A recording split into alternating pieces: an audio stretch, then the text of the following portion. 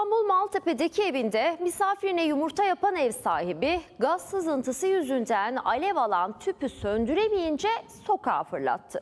Tüpün bomba gibi patlaması mahallede büyük panik yarattı. Sokakta kimsenin olmamasıysa çok büyük bir şanstı.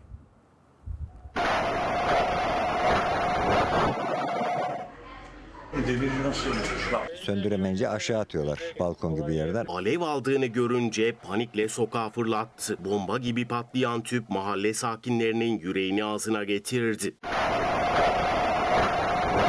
Kaynak yerinden kırmış bak bunu bile patlatmışlar. buraya çarpıyor. Dün gece saatleriydi. İstanbul Maltepe'de yaşayan adam misafirine yumurta yapmak istemiş. Tüpün bittiğini fark edince de değiştirmişti. Aşağıdaki ilk çaycının akrabasının bir tanesi bana yumurta yap diyor. Tüp yok diyor. Tüpü değiştiriyorlar. Yumurta yapıyorlar yukarıda. Yumurtalar pişerken sızan gaz yüzünden yangın başladı. Panikleyen adam tüpü aşağı attı. Yumurta yaparken tüpün memesinden kaçırıyor. Tüp büyük bir gürültüyle patladı. Ortalığı savaş alanına çevirdi. Çöp bidonu, benim arabanın tekeri ve jantı, bilgisayarcı arkadaşın dükkanın demirleri falan kırılıyor hepsi. Neyse ki yoldan geçen hiç kimse yoktu. Aksi halde facia yaşanabilirdi.